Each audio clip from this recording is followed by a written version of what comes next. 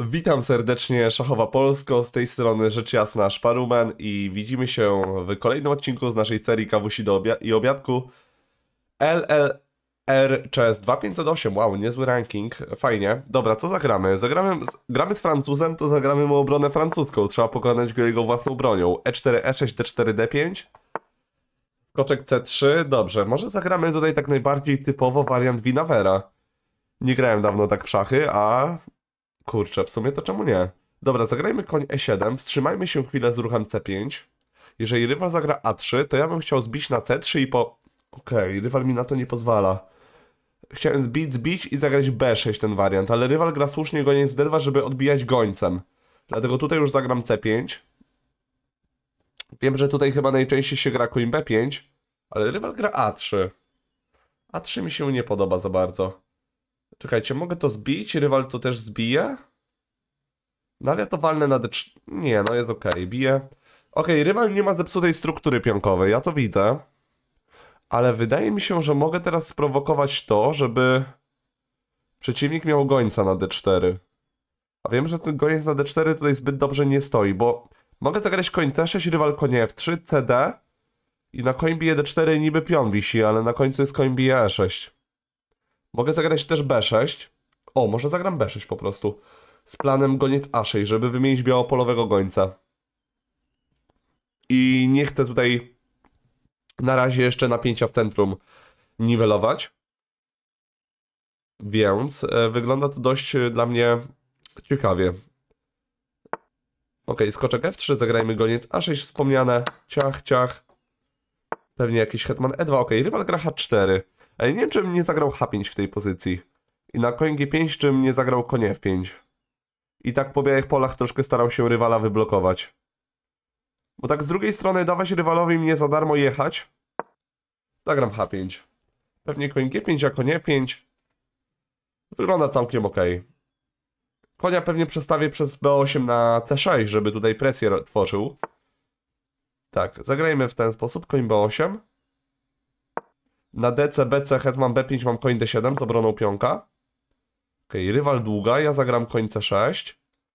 Może najpierw hetman C8, hetman A6 mogłoby być ciekawe, żeby postraszyć wymianą hetmanów. Ale koń C6 jakoś bardziej do mnie przemawia. Koń C6 jakoś bardziej do mnie przemawia. Bardzo naturalny, rozwojowy ruch. Koń G5 już za bardzo nie ma, bo bicie D4. Może zagramy teraz A5. Może mam dużo pomysłów. Zagrajmy A5 w ogóle. A5, żeby teraz zagrać hetman C8 i hetman A6. Trochę hetman B5 może nie doceniłem, bo teraz może to być trochę nieprzyjemne. Ale no A5 to chyba, chyba zbyt ryzykowne. Może najpierw hetman C8, żeby teraz hetman A6 zagrać. Chociaż hetman B5, no nawet jakby mi tego pionka zbił na dobrą sprawę. No nie wiem, nie wiem co o tym myśleć. A, na hetman B5 mam C4 po prostu, zamykam tego hetmana. Zamykam tego hetmana i to powinno być dość zdrowe. Dobra, rywal bije na... Rywal gra koń G5. Mi to oczywiście daje opcję bicia na D4. Mogę też zagrać konie F5. Rywal bije, bije i pewnie wtedy hetman B5 będzie chciał zagrać. Ma to sens z pewnością. Jak ja zbiję, rywal zbije, ja zagram konie F5 wówczas. Przeciwnik już zagra C3. Także ja się wstrzymam, zagram chyba taki ruch przygotowujący hetman D7 albo właśnie hetman C8, zastanawiam się. Ale hetman D7 nieco bardziej mi się podoba. Może hetman C7, żeby zejść z linii D. Ale wtedy może hetman C7 faktycznie. Na linii C się ustawiam. Schodzę z linii D. Wygląda fajnie, wygląda fajnie ta pozycja, nie będę kłamał. Hetman B5 nie jest groźbą, tutaj nic nie grozi po przekątnej.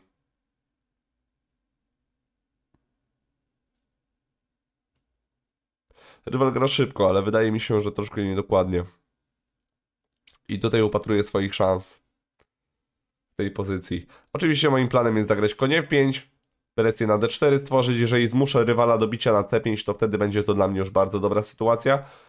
Bo zagram d4, wyrzucę gońca rywalowi i te moje linia b się otworzy, żebym króla tutaj atakował. Wtedy na... może roszady nie będę robił, bo tutaj łatwo dostanę mata. Ale wydaje mi się, że nie ma takiej potrzeby, żebym robił roszadę. Może nawet konie F5 i króla na E7 postawię. Dobra, rywal mi tak pozwala bić, bić. Hetman F3.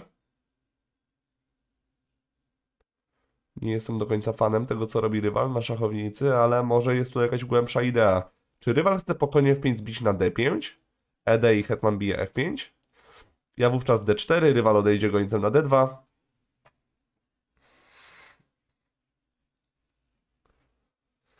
Mogę też zagrać koń G6 bardziej, żeby tego pionka otaczyć, ale ten pionek mnie średnio interesuje. Co ciekawe, mogę zagrać wieża F8. Oddać tego pionka w zamian za... Aha, tylko konie 6 grozi. Hmm. Um, konie F5, wieża bije D5. Czy tutaj mogę coś wykombinować ciekawego? I czy coś grozi w ogóle?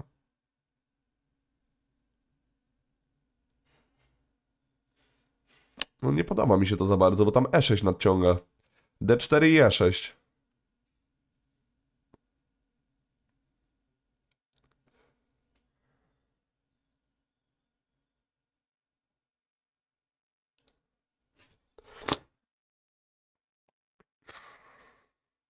Po koń G6 nie ma wieża bije D5. Ale jakieś konie E6 w przyszłości będą. Dobra, zagram koń G6, ale konie F5, wieża D5. Pewnie nie widziałem jakiejś obrony, ale z tym królem w centrum nie podobało mi się to za bardzo. Tak, przy hetmanie na D7 by nie miał rywal takiej opcji. To zagrałem trochę niepoprawnie. Rywal się czai na koń bije E6, a ja zagram teraz tak sprytnie konie 7, żeby dodać trochę figur do obrony. Wydaje mi się, że jak zbloku zblokuję skrzydło królewskie, to na hetmańskim ta pozycja się będzie sama wygrywała.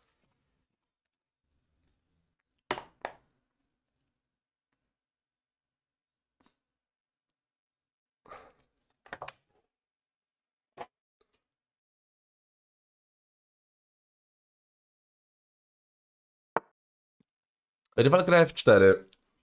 Nie podoba mi się ten ruch. Nie podoba mi się ten ruch, bo... Nie wiem, jakoś po prostu wygląda dla mnie trochę nie, nielogicznie. Gram konie F5.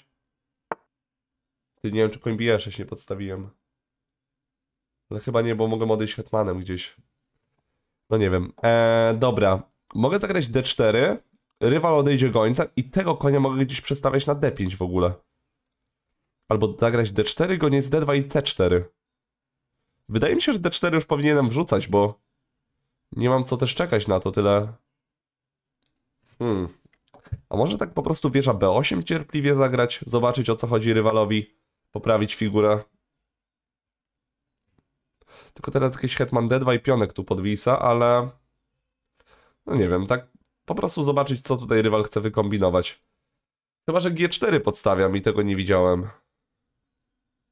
I po HG rywal chce grać H5. Ja wtedy koń E7.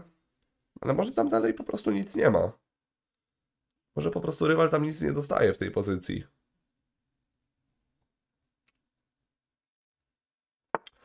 Hetman B, Hetman E1. Ja może zagram w ogóle Hetman B. Może Hetman B7 w ogóle, żeby nie było bicia na A5.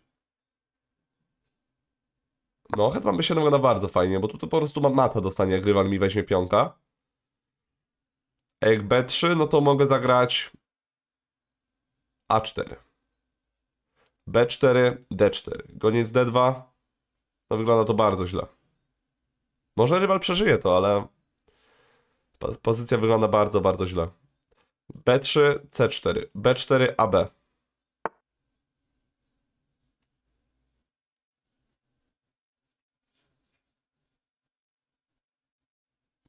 Mogę też pionka wziąć na F4, pamiętajcie. A4, B4, D4. Goniec D2. CB. Jak goniec B4, wtedy walnę na F4. Rywal ma co prawda koń E4, ja mam koń D5. Dobra, A4 musi być ok.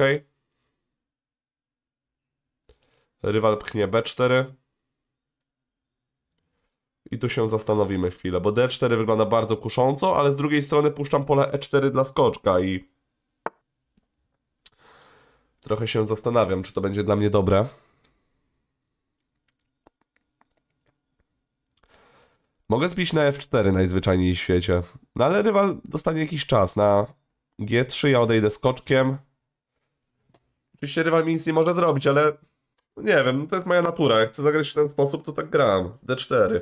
Od razu pole na D5 dla skoczka zwalniam. Nie ma konie 4, koń D6, bo tutaj skoczek pięknie pilnuje. Goniec D2, CB, tylko wtedy AB rywal ma jeszcze.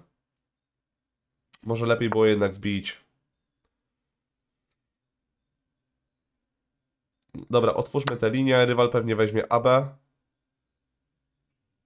Tak, i teraz nagle hetman E2, hetman D3 dostaje. Ok, gońcem zbił. To gońcem chciałem dostać, bo dostaje koń bije F4. I teraz chcę zagrać koń D5. Jeżeli wieża F1, koń bije G2 nawet, jest planem koń E3 z widełkami.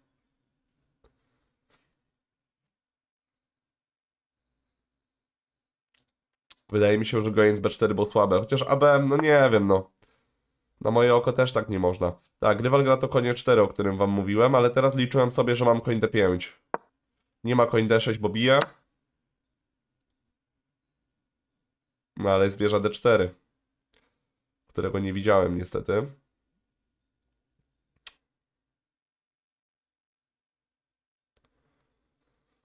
Hmm.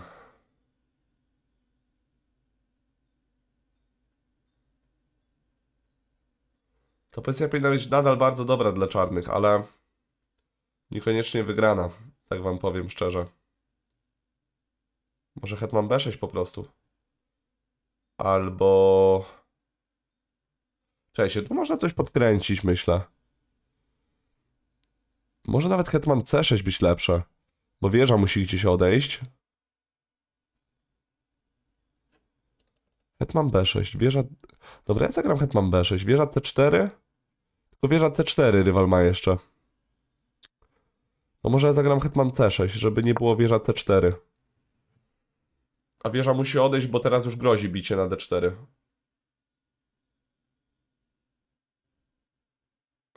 Mam nadzieję. Chyba, że rywal wykombinuje jakieś wieża F1, żeby na bicie na D4 zagrać koń D6, król D8. Unbelievable. I go, nie, koniec A5 nie ma, bo jest związanie. A konie F7, król C7. Ok, rywal zbił. Rywal koń D6, nie podoba mi się to.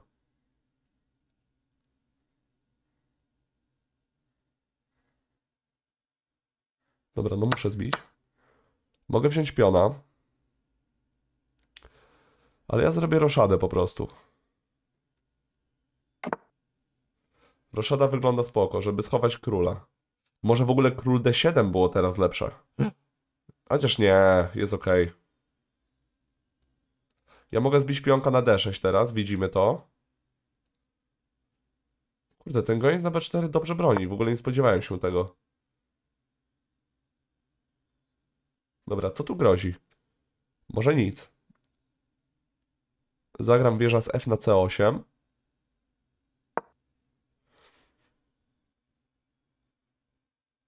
Jakiś hetman C3. Wygląda bardzo kusząco. Tylko tego pionka nie zdobywam. I nagle ten pionek może stać się siłą przeciwnika. Mi się podoba taki ruszek jak hetman C3 w tej pozycji. D7.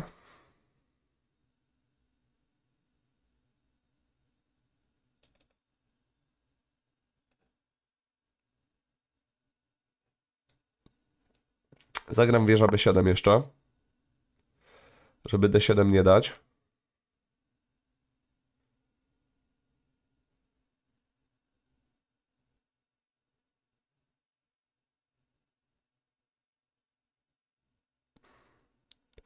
Nie jestem przekonany do tego, co robię na szachownicy.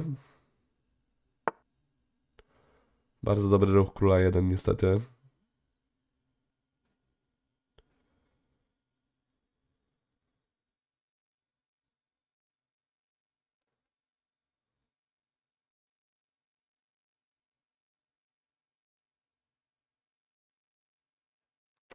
God damn it.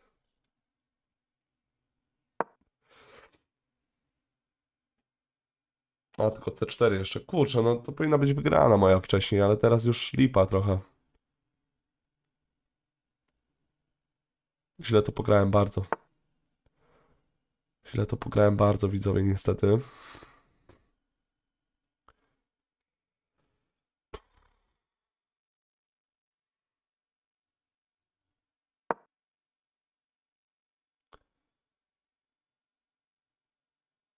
Nagle ten koniec jest siłą przeciwnika, to jest niesamowite dla mnie, co tu się wydarzyło.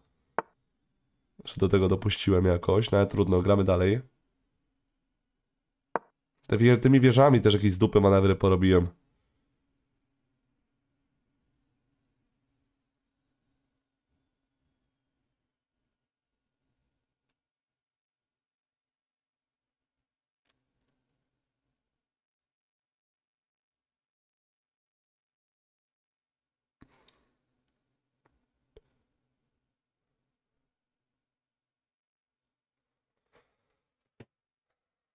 Te piony są bardzo silne.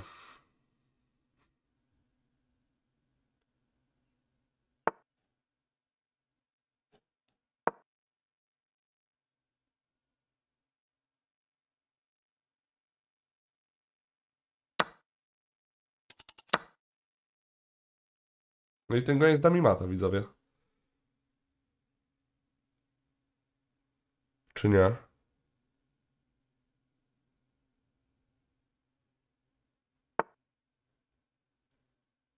Nie, rywal to podstawił w ogóle.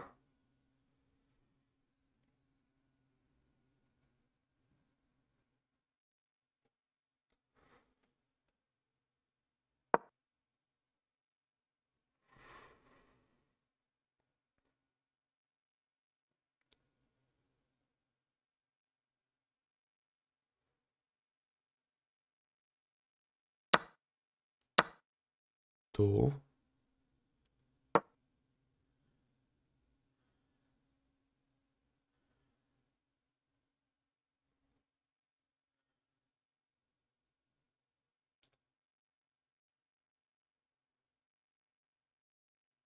Jest dobrze, tylko pytanie, czy uda mi się to zrealizować.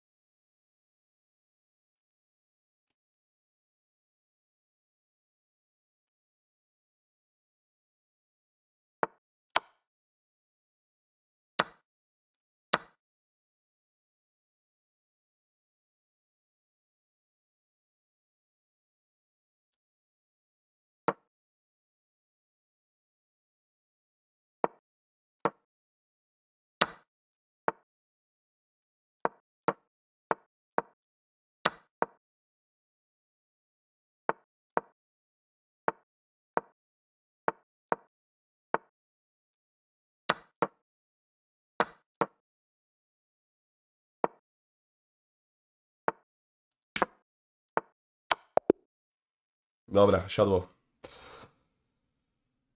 Ale można było to jakoś czyściej skończyć. W ogóle.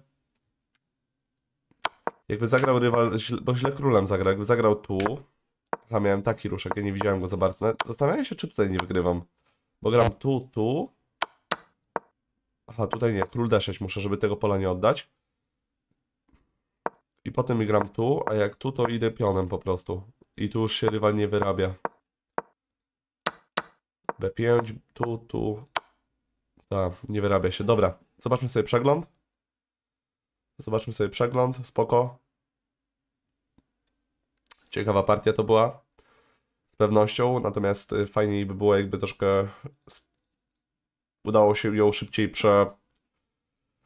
przerobić na punkt. No ale zobaczymy. Wydaje mi się, że była wygrana po 20 ruchach już gdzieś, że miałem gościa zrobionego. Ta, potem się wypuściłem mocno te pozycje.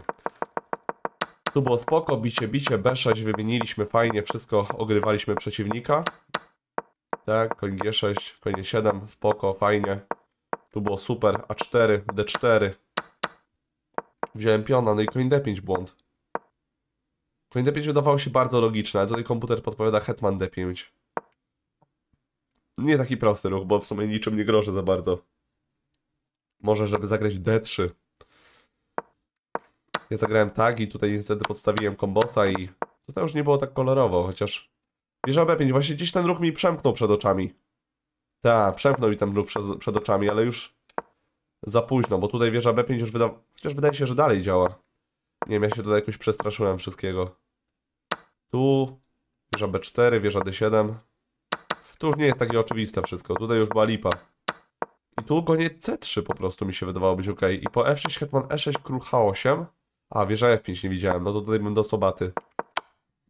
Musiałbym zagrać wieża F7, ale też nie jest to takie oczywiste.